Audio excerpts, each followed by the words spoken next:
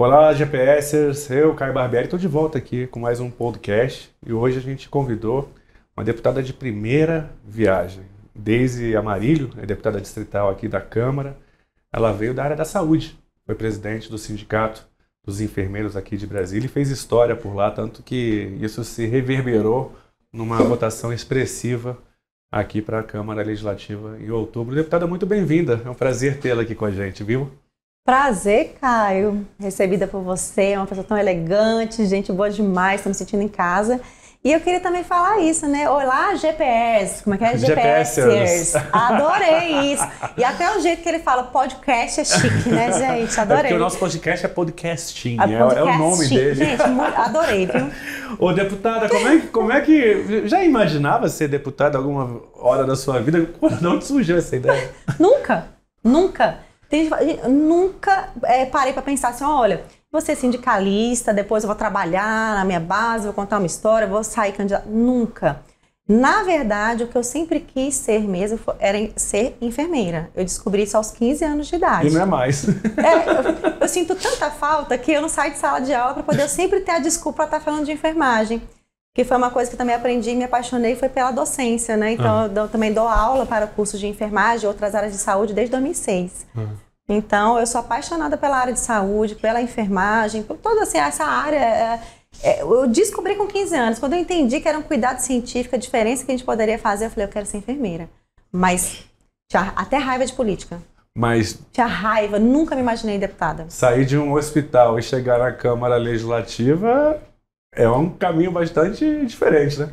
É diferente, mas ele foi muito natural, ele foi acontecendo. E eu te digo por quê. Você foi pensar assim, Deise, por que, que você acabou virando deputada? Eu acho que foi a dor da enfermagem, principalmente na pandemia, porque a gente já era negligenciado historicamente.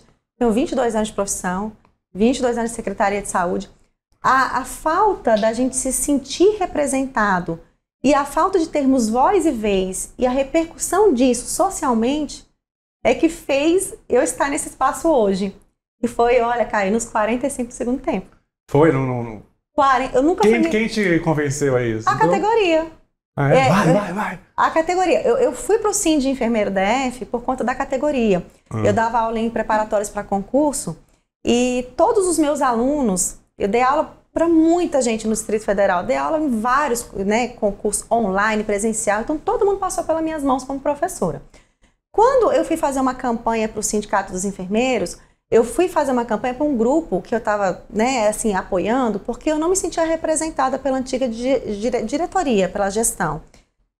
Até porque, assim, era uma diretoria que estava há muitos anos, estava 21 anos no sindicato. E quando eu comecei a fazer campanha como professora, eu comecei nos hospitais a fazer campanha. Aí o pessoal falava assim, professora, você está na chapa? Eu, não, Deus me livre de ser sindicalista. Olha só, o preconceito, né, da gente, assim, com a política. Porque a política tem essa questão de você ter aquele preconceito de ver a política como algo que é, é, criminalizar a política. E aí os alunos falaram assim, Caio, não, professora, se você não estiver na chapa, eu não vou votar nessa chapa, não. Você tem que ir para a chapa para a gente acreditar no trabalho e tal e tal. E aí o pessoal disse, se você não for para a chapa, a, gente, a chance da gente ganhar é mínima. Se você for, a gente tem chance. Aí fui para a chapa. Ganhou. E aí acabei, né, pela votação da própria categoria, virando a presidenta do Cinti Enfermeiro da F. Isso e... foi em que ano? Foi em 2016. Uhum. 2016. E eu não entendi o que era política. Eu fico brincando que eu me achava super inteligente porque eu falava de política na, na família, nas conversas né, de redes sociais, assim, do, dali, do almoço. E eu não entendia muito bem, tanto que eu tinha um preconceito com política. Aí, quando eu entrei para o Sim de Enfermeiro, eu falei, meu Deus, política é isso, porque o espaço sindical é um espaço político, né? Um espaço também muito importante, um espaço político. Mas muito machista também, né? Muito. Eu ia até tocar nesse assunto. Inclusive, nós, profissionais de enfermagem, somos 80% mulheres. E quando eu entrei para o Sim de Enfermeiro, eu falei, caramba, sindicato é um ambiente... Porque assim, Caio, é, a política, ela está relacionada à questão do poder e do dinheiro. Então, esses espaços, historicamente, sempre tiveram distante das mulheres. E a enfermagem, ela sempre foi vista como uma profissão feminina do cuidado, da arte, da coisa superior, da, né, daquelas enfermeiras que faziam ah, por amor, ah, eu vou uhum. fazer isso aqui para, é, né, vou cuidar. Então, as pessoas não veem a enfermagem como algo científico, que é. Uhum. E quando eu entrei para o sindicato é que eu percebi que era, era pior do que eu imaginava, que a gente teria que trabalhar muito para conquistar esses espaços. A gente vê até, inclusive, recentemente nesse Big Brother, o, o médico, né, o Fred, ele coloca a, enfermar, a enfermagem como uma auxiliar, né, como um assistente ali do médico, né? E não é bem assim, cada um tem seu papel e é cada um com seu papel relevante, inclusive, né? Não é nada assim. Então, a gente brinca que eu falo que eu, existe um poder oculto na enfermagem. E eu sempre acreditei nisso. Tanto que eu sempre fui muito de pesquisar as coisas. Quando eu tomei a decisão de ser enfermeira, eu estudei as profissões e comecei a pesquisar a diferença entre elas. Quando eu vi que o profissional de enfermagem ele tem que pensar em tudo, Tá, então não adianta pegar uma pneumonia, passar um antibiótico e curar, apesar de que cada profissão é muito importante, uhum. mas eu teria que pensar em tudo. Aonde ele mora para ter aquela pneumonia, como está o estado nutricional, como é, como está o estado psicológico, como a família. É tudo, a gente vê tudo. E as pessoas não têm ainda, a gente ainda é muito medicalocêntrico, hospitalocêntrico. É, no ano de 2020, a Organização Mundial de Saúde determinou o ano de 2020 como o ano da enfermagem falando para o mundo, invistam em profissionais de enfermagem invistam na enfermagem, que vocês vão ver mudança de indicadores mundiais. Isso não aconteceu aqui no, no, Brasil e não aconteceu no Distrito Federal. Então, a gente vê bem isso no Big Brother, porque parece realmente isso, né? Mas a enfermagem, por exemplo, não é subordinada a nenhuma outra categoria. Nós temos o nosso regimento próprio, nossa lei própria, nosso código de ética próprio, um conselho que nos fiscaliza, representações que são nossas. E quando eu entrei para o sindicato, eu entrei com uma missão. Eu entrei para resgatar o sindicato para a base e eu entrei para fazer através do sindicato um resgate, que através daquela categoria a gente pudesse ter um impacto social. Eu sempre acreditei nisso. Na época parecia muito utopia. Você fala, você vai conseguir, por exemplo, através do sindicato fazer coisas para a população? Eu falei, vamos, porque essa é a função do sindicato. O sindicato ele precisa usar a categoria para fazer algo para a sociedade. Então a gente conseguiu algumas coisas, foi difícil, mas a gente conseguiu. Falando em, em conquistas, é, deputada, é, a gente tem visto desde o ano passado uma luta aí, parece que sem fim, da, dos enfermeiros, né, para conseguir é, o piso salarial, né? Aquela, aquela confusão na época do governo Bolsonaro, enfim, é, virou o governo, agora vocês estão retomando essa mobilização para que o piso realmente saia do papel, né? Deixe do blá blá blá e realmente chegue lá no bolso, que é onde é. Deve, deve acabar, né? Como é que está essa mobilização? Como é que está esse, esse movimento? Eu vejo que a, que a senhora é uhum. bastante atuante nas redes Sim. sociais para poder chamar para esse movimento. Então, Caio, é, nós estamos nessa luta há 55 anos. Quando a enfermagem ela foi regulamentada, a gente já nasceu sem piso, sem carga horária. Algumas outras categorias já têm regulamentação de piso e a maioria também da saúde já tem regulamentação de carga horária. As pessoas não têm noção, mas eu vou falar do Distrito Federal só para vocês entenderem o impacto disso. No Distrito Federal, a gente tem profissionais de enfermagem de nível superior, que é convenção. o nosso acordo em relação ao valor que é pago é feito pelos sindicatos. Hoje, um enfermeiro formado no Distrito Federal, trabalhando 44 horas, ganha em torno de R$ 1.800. Um técnico de enfermagem ganha em torno de R$ 1.400, R$ 1.500. E...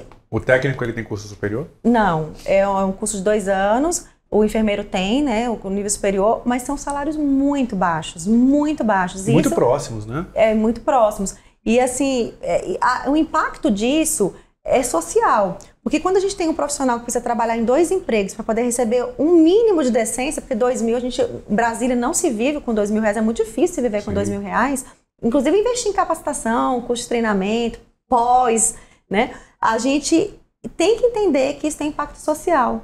São mulheres que trabalham em dois empregos, que precisam de trabalhar em dois empregos. Então, assim, essa mulher está estafada, cansada. E na pandemia, a gente morreu muito. Então, hoje, como é que está a situação do piso? Eu quero até aqui... Eu vou falar para ali, pode, Caio? Claro, para fazer um convite. Nós estamos fazendo uma grande mobilização nacional pelo piso da enfermagem no dia 14 de fevereiro, às 10 horas da manhã, em frente ao Ministério da Saúde. E eu vou falar uma coisa para vocês, eu não estou fazendo convite, eu estou fazendo um apelo. Eu estou pedindo para vocês, nós, enfermagem brasileira, precisa que vocês possam comprar essa ideia da enfermagem. E Caio, o dinheiro já existe. Eu nunca vi um trabalhador brigar pelo o reajuste salarial, achar o recurso, não vai ter impacto no Ministério da Saúde, não vai influenciar nenhum outro programa do Ministério.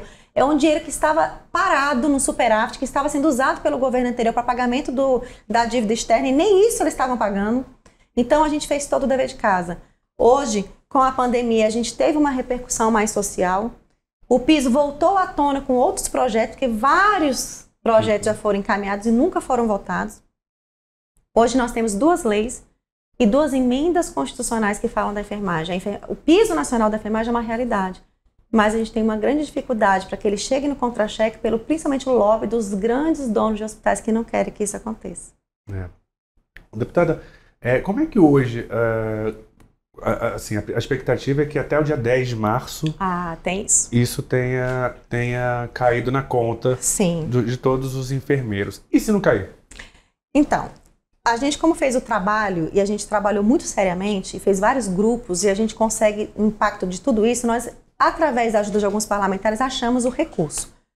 E está suspenso por conta do Barroso numa decisão que agora ele quer saber como que o dinheiro vai sair de tal lugar e vai parar naquele estado.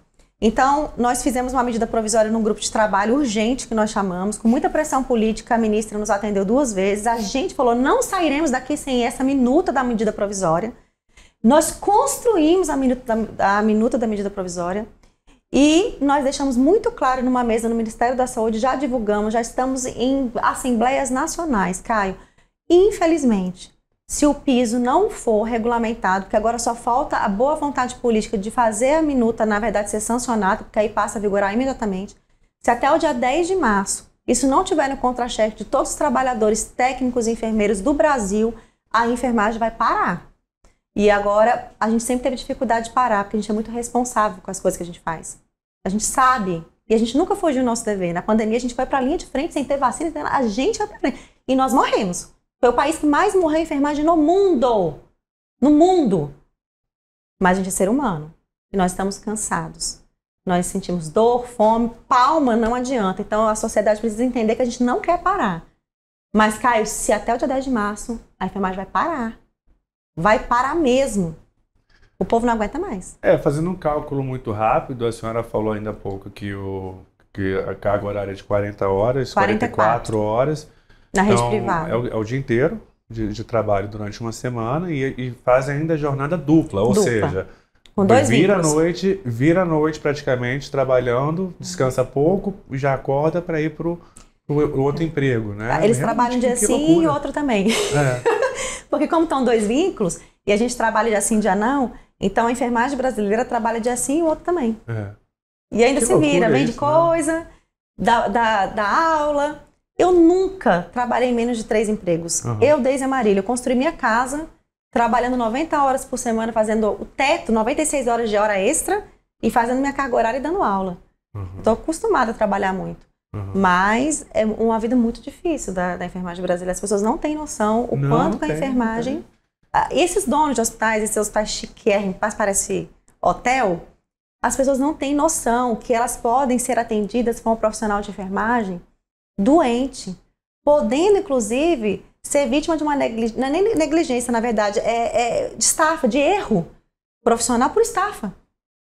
Todos os profissionais de enfermagem, quando a gente vai fazer pesquisas cara, estão já passaram ou passaram por uma doença psicossomática, burnout, autoextermínio é altíssimo na enfermagem. Altíssimo. Nós tivemos samuzeiros agora vários casos nesse ano de profissionais de enfermagem que se mataram. Tem profissional que quer se jogar da ambulância, de estafa, ninguém aguenta mais. E a gente muitas vezes faz o tal do TPD, que é a, que é a hora extra que foi deturpada, uhum. precarizada pela reforma trabalhista. Não é porque a gente quer, não. É porque a gente chega no serviço, não tem quem ficar, a colega entra já testado, aí a gente, a chefe fala assim, Deise não vai poder sair do plantão, porque não tem quem fique com o paciente. A gente deixa a nossa bolsa, liga para a família e fala, hoje eu não vou para casa, porque eu tenho que fazer mais 12 horas de plantão porque minha colega adoeceu. Aí daqui a pouco eu adoeço. Então é um ciclo. É, assim, isso, essa sua, esse seu depoimento é muito forte, porque também justifica muito uma das maiores reclamações da, da comunidade, da população, que é o atendimento nos hospitais, que muitas vezes o servidor não, não, dá uma resposta adequada, não tem aquela boa vontade de atender o paciente, aquilo ali se transforma no... Mas tendo esse bastidor, é claro que não se, não se justifica, mas a gente já começa a entender um pouco mais, né? Com certeza, Caio. Eu acho que nem, nem questão só psicológica do servidor. A gente está com o sistema sucateado mesmo, desfinanciado. O SUS, ele está agonizando. E a gente tem uma dificuldade no Distrito Federal, que é a questão da implementação do IGES, que foi mal feita, mal pensada. É, um, é, um, é caótica a situação do Instituto de Gestão Estratégica, porque quando nasceu a gente sinalizou que estava nascendo errado. Não sou contra a complementação, a própria lei do SUS fala que tem que ter complementariedade do serviço, mas o IGES nasceu errado e nunca conseguiu suprir aquilo que ele veio fazer. Mas o IGES ou já o antigo, antes do IGES? Que foi o Real Beneficência, que teve? Não, que teve o Hollenberg. É, é o Instituto, na verdade, assim, ampliou. Uhum. Então o erro começou lá, uhum. realmente, do, do governo que criou, o, pegou o base, que é o único hospital quaternário que nós temos, então foi um erro atrás do outro. E quando eu falo isso, que não é só a questão da, do, dos trabalhadores estarem assim, é porque os serviços não se comunicam, os sistemas não se comunicam. Hoje nós temos paciente nas UPAs, que era para ficar 24 horas um mês. Então o sistema está caótico. E por que, que a enfermagem, inclusive, está nas estatísticas dos profissionais que mais apanham? E não sei se você está vendo muita violência com o profissional. Sim, sim, a gente tem noticiado bastante. Muito, né? É. Muito, aumentou muito. Por quê? Como a enfermagem que fica no atendimento que a gente chama de acolhimento e classificação de risco, é a gente que tem que falar para esse paciente que não tem médico, que não tem exame, que não tem previsão, que o hospital está de bandeira amarela. Vocês então a gente está na notícia, frente. Né? Então é pancada, tiro porrada de bomba na enfermagem. Quase que literalmente. Né? Literalmente, né? aumentou muito. No sindicato a gente começou a fazer a estatística, é muito complicada a estatística, porque ela entra como acidente de trabalho, mas não tem definição do que, que, Qual que foi, o tipo de agressão, não se tem. foi verbal, Parece se foi que Não, não tem nem isso. Parece que a gente furou o dedo. Acidente de trabalho. A agressão à enfermagem não tem estatística. Que é uma coisa que a gente está até buscando junto à Secretaria de Saúde. Mas os profissionais pelo que eu tenho visto, passaram a reagir também, né? Agora. Passaram a fazer a denúncia é. e o sindicato começou a apoiar. Uhum acolher. Uhum. Tipo assim, o que, nós podemos fazer? E, e, e, alguns casos que eu peguei foram bem pesados. É. Foram, de, assim, algumas enfermeiras foram até que agredidas mesmo. Uhum. Assim, de ponto de ter fisicamente ali. É, foi, foram situações pesadas que aconteceram do último ano para cá. E existe alguma legislação que a senhora pensa em criar para enrijecer ou endurecer a penalidade nesse tipo de crime? Com certeza, eu acho assim, a gente fala muito que ontem eu estava no, no Hospital de Santa Maria, eu vi algumas falas assim, que me, me doeram, assim, porque um dos maiores medos que eu tinha de entrar na Câmara era não conseguir fazer tudo que a gente quer fazer, a gente tem toda a dificuldade da, do nosso regimento, muitos projetos têm visto de iniciativa, e eu olhando aqueles profissionais falando, chorando, eu falei, meu Deus, a gente tem muita coisa para fazer. Então a gente precisa entender também que a gente tem uma violência contra, assim, do servidor público e tem bons e maus servidores, mas no geral, vou te falar, Caio, graças a Deus nós temos servidores públicos. O SUS mostrou isso na pandemia. Se não fosse o serviço público, teria sido muito pior. E eu trabalho com pessoas excelentes. Eu sempre fui servidora pública, sempre trouxe isso dentro de mim. Minha família usa o SUS. Mas eu acho que a gente precisa não só investir nessas leis, Caio, mas a gente precisa também pensar na saúde do trabalhador, a saúde mental do trabalhador. Hoje a subsaúde é única, então a subsaúde ela cuida de todas as secretarias. E não tem como você falar que o trabalho de um policial é igual de um profissional da saúde. Então a gente precisa pensar em programas de prevenção, como acolher esse trabalhador para que ele tenha, investir no trabalhador e investir também no atendimento, é. na sociedade também.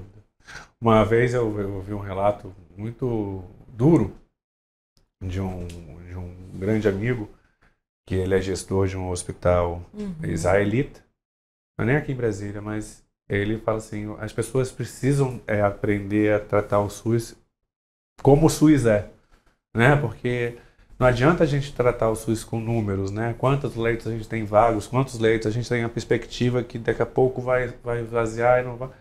Eu tenho paciente no meu hospital que não quer ir embora para casa porque não tem comida em casa. É verdade. Né? Assim, é, é, é tudo tão. Sim, é interligado. É, né? É, assim, a, a, parte da saúde é muito ligada ao social. Né? Exatamente. Né? E a relação de confiança que a população tem com os profissionais de saúde, tipo, aqui eu estou protegido, aqui ninguém vai, vai mexer comigo. Né? Tem com um pouco certeza. disso também. Né?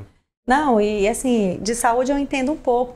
Por isso que eu estou na presidência de uma comissão que eu acho muito importante na Câmara, que é a Comissão de Assuntos Sociais. Uhum. Você falou uma coisa assim que eu acredito muito e, e, que eu defendo muito. Uma das coisas que eu tenho trabalhado junto ao GDF desde que eu era sindicalista é que eu sinto muita falta da intersetorialidade. a gente muitas vezes pensa na Secretaria de Saúde sozinha, na Secretaria da Mulher sozinha, na Secretaria de Segurança Sim. sozinha. E a gente não vê que a gente precisa permear as ações, a gente precisa potencializar. Uma, mas a grande dificuldade da gente permear e a gente conseguir transitar, que eu mais percebo, né, quando entrei para o sindicato a perceber, é a questão do viés político e das indicações políticas nas secretarias, né, os cargos que não são técnicos. Isso tem atrapalhado muito a gente pensar em Brasília para Brasília e é um desafio que eu acho que a gente vai ter a longo prazo, uma mudança de mente, de fazer Brasília não para grupos políticos, mas Brasília para Brasília. É né? Achar normal conversar executivo com legislativo, é. né? Deputada, a senhora está entrando, então, o papo está ótimo, mas a senhora está entrando aí na, na política num momento meio conturbado, né? O Brasil é, polarizado entre bolsonaros e, e, defensores de Lula, é um Congresso mais conservador, ao mesmo tempo um presidente progressista é, eleito, é, a Câmara Legislativa também da mesma forma, como reflexo desse cenário nacional, também completamente dividida. E, e como é que a senhora avalia? Porque a senhora está no meio do caminho.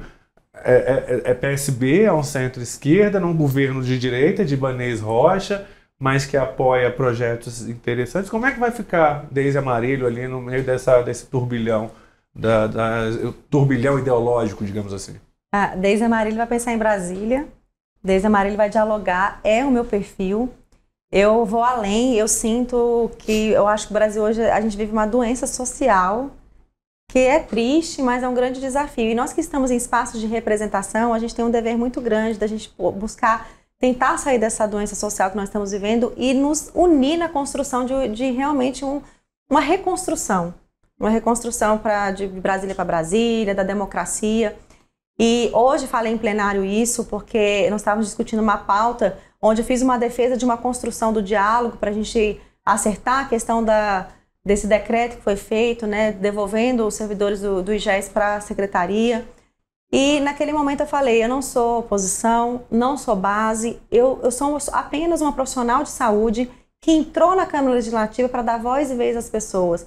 As pessoas é, até costumam brincar comigo dizendo que é muito complicado, que, né, que vai ser hum. difícil. Mas a única coisa que eu vou assim me manter é manter aquilo que eu acredito, manter, manter sempre jogar com a verdade. Eu nunca vou fazer um projeto que é inconstitucional para poder fazer firula com as pessoas. Eu não vou usar um recurso legislativo para poder jogar para a galera. Eu vou sempre ser muito realista com as pessoas. Aquilo que eu puder fazer, eu vou falar que eu posso fazer. Aquilo que eu não puder, eu vou falar. Não tenho nenhum cargo no governo, não quero ter, porque eu quero poder transitar. E graças a Deus, cara, tá dando certo, porque eu sou muito respeitada. Eu acho que o trabalho do Sindicato Enfermeiro mostrou isso. É. Então, quando eu preciso falar com o governador, eu falo. Quando eu preciso falar né, com os secretários das pastas, eu falo.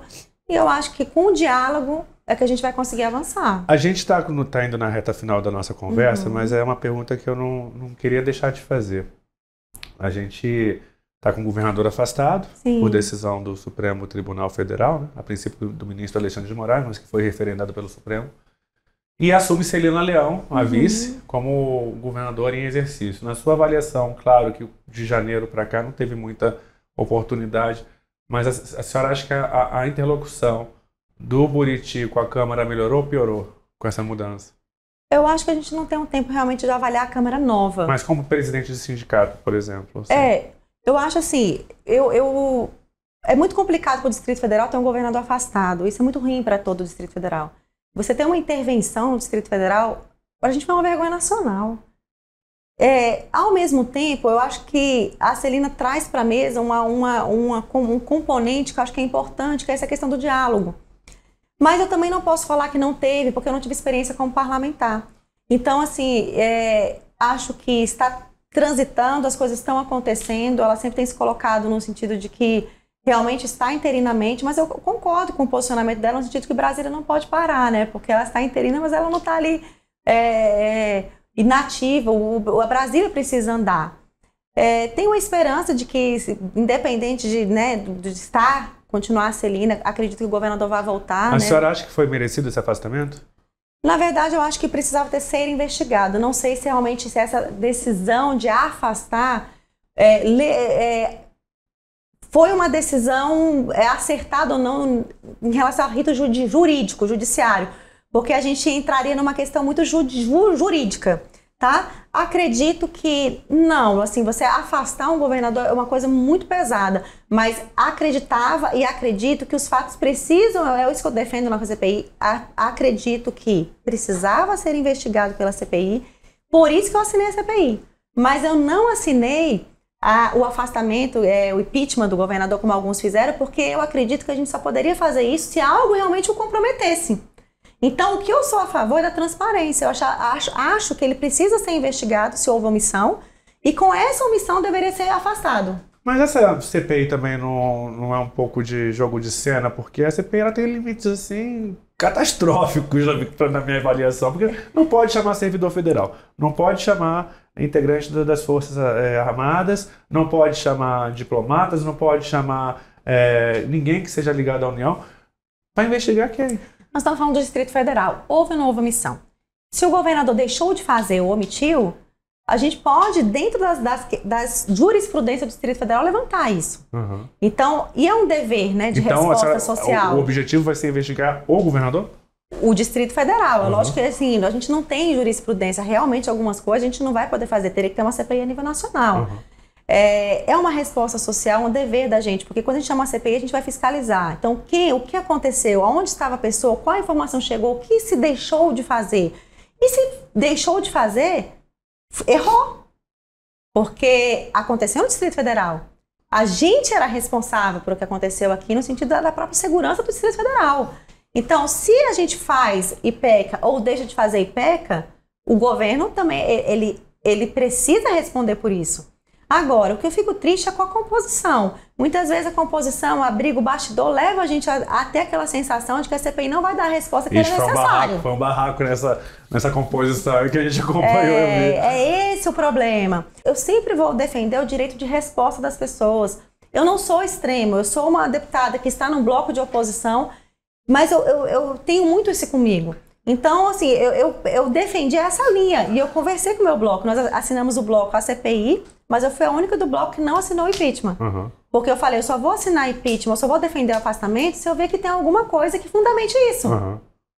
É, mas eu também, assim, na minha avaliação, achei que aquele pedido de impeachment foi inoportuno, porque realmente parecia que estava sendo meio que aproveitando a crista da onda da, da, da fase ruim ali para enfim, é o, que, é o que a senhora disse. Tem que esperar, né? Só a justiça vai poder mostrar pra gente quem estava certo, quem não estava naquele é. triste episódio que a gente que ama a cidade vê aquelas cenas é de partir o coração, né? De doer. Eu, eu não sou daqui, mas eu cresci aqui e tenho uma memória afetiva com o Brasil, tenho uma ligação com essa cidade que é que foi assim uma foi um golpe que eu recebi foi. também, não foi só nas estruturas dos prédios, não, acho que quem ama que tem uma história com a cidade também foi golpeado. Foi. Naqueles dias, né? Não, eu vi as imagens eu chorava. Eu tava com minha família no Corumbá, tinha tirado só o final de semana.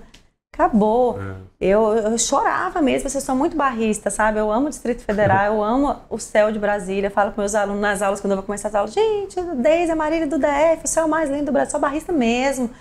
É. Brasília é linda, é maravilhosa, é uma cidade sabe, futurística mesmo. Eu amo essa cidade. Eu acho que a gente está no nosso dever de, de, de, exigir das autoridades que, que realmente respostas sejam dadas é, pra, e os culpados sejam praticantes lá dos atos, sejam os é, patrocinadores ou mesmo quem incentivou aquela, aquele radicalismo ali, aquele terrorismo ali né, na, na Praça dos Três Poderes realmente sejam responsabilizados, como muitos já são. Né? Deputada, muito obrigado pela sua presença aqui no GPS. A gente quer deixar aqui a casa sempre muito aberta, muito à vontade, para a gente discutir propostas, discutir Brasília e principalmente melhorias para a nossa população. Nossa, com certeza. Me senti em casa, gente. Aqui é um ambiente muito glamouroso, assim, muito elegante. Eu acho que o GPS vem trazendo aí uma oportunidade de a gente discutir política de uma forma aberta, transparente, uma proposta elegante. elegante. Propositivo. Uma, muito legal. Assim, parabéns, acompanho. A revista é linda, né? Você vê tudo, né? Tudo, tudo é elegante. Então, gente, muito obrigada pela oportunidade. Para mim é uma honra, é um prazer ter tendo voz e vez. Quando eu venho em cada bate-papo desse, eu me sinto assim muito honrada e faço isso com muito temor, porque eu sei que eu estou aqui dando voz e vez a pautas que são tão importantes de pessoas que não têm essa oportunidade de falar por elas. Então, contem com o meu mandato, você que está aqui assistindo, Você tem obrigação de fiscalizar e de entender que a Câmara Legislativa do Distrito Federal e os deputados que ali estão não estão ali para ser servidos, estão ali para servir você, população. Meu gabinete está aberto, é o gabinete 18. E queria agradecer e mais uma vez chamar vocês para o dia 14 de fevereiro, às 10 horas da manhã. Por favor, gente, adote aí a enfermagem brasileira que está precisando muito de vocês. O deputado, eu quero até fazer um, um desafio aqui. Vamos, Ai, vamos fazer Deus, junto? sério? Ó, hoje são. Que dia que é hoje, Léo? Hoje são dia, hoje é dia 8 de, de, de fevereiro, Fevereiro. de 2023. Vou te convidar. A gente, claro que nesse meio, nesse meio período a gente vai ter outras conversas, mas eu quero te convidar Hum. para você vir conversar comigo em novembro, daqui a quatro anos, no fim do seu mandato. do Ai, seu meu primeiro Deus. mandato. E a gente assistir essa entrevista naquele, daqui a quatro anos, e a gente vê o que, que mudou de hoje até lá. Eu acho que as rugas e os fios brancos, né?